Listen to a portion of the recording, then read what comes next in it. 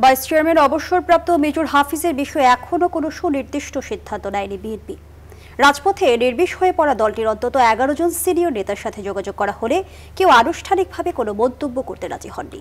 তবে মেজর হাফিজের বিষয়টিকে দলের কাঁধে চাপিয়ে শোকস দিয়েছিলেন যে নেতা বিএনপির সিনিয়র যুগ্ম মহাসচিব সেই রুহুল কবির রিজভিও তা এড়িয়ে গেছেন। বিস্তারিত জানাচ্ছেন তৌহিদ শান্ত। বিএনপির ভাইস চেয়ারম্যান, মুক্তিযোদ্ধা মেজর হাফিজ গতকাল বনানীর বাসায় সংবাদকর্মীদের বলেছিলেন, দলীয় কোনো নেতাকে দল থেকে যে কোনো কারণেই শোকজ করা যেতেই পারে। কিন্তু হতবাক হয়েছেন, দলের গোপনীয় এ বিষয়টি তিনি জানার আগেই ফলাও করে গণমাধ্যমে প্রকাশ করা হয়েছে।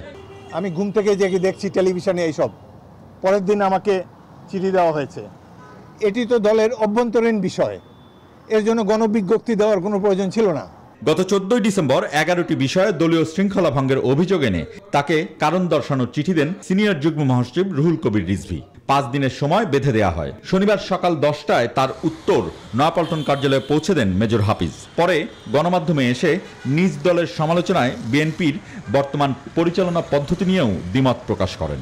বিএনপি আওয়ামী লীগ এই দুটি বড় দলে গণতন্ত্রের কোনো চর্চা নেই। গতকালকের পর থেকেই বিএনপির এই নেতাকে নিয়ে দলের ভেতরের পক্ষ বিপক্ষ এবং বাইরের প্রতিপক্ষ আওয়ামী লীগ দেশের পুরো রাজনৈতিক মহলেই আলোচনা শুরু হয়। আলোচনা অব্যাহত বিএনপিতেও। কিন্তু কোথাও কেউ কোনো কথা বলতে রাজি নন। দলটির শীর্ষ অবস্থানের দশ জনের বেশি নেতার সঙ্গে যোগাযোগ করা হলেও তারা জানান, ঘটনাটি এতটাই স্পর্শকাতর যে এ নিয়ে হা কিংবা না কিছুই বলা যাচ্ছে না। আর ওখানে কিন্তু নির্দেশ প্রদান করা হয়েছে, কথাটি লেখা আছে। হ্যাঁ নির্দেশ প্রদান করা হয়েছে। আমি নির্দেশ দিচ্ছি কথা লেখা নেই। তখন এটা ইমপ্লয়েড যে দল এই ইয়েটা দিচ্ছে অভিযোগটা দিচ্ছে। সিনিয়র নেতারাই তো এখন স্ট্যান্ডিং কমিটির নেতা। সিনিয়র নেতারাই তো এখন ভাইস চেয়ারম্যান অ্যাক্টিং চেয়ারম্যান। আলোচনা করেই সিদ্ধান্ত নেন সিনিয়র নেতাদের।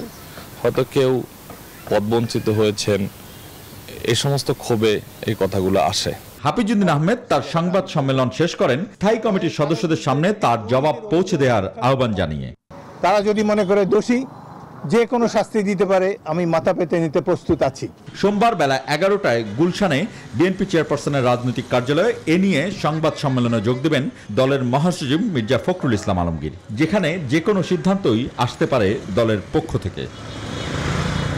Tauhid Shanto, news twenty Dhaka.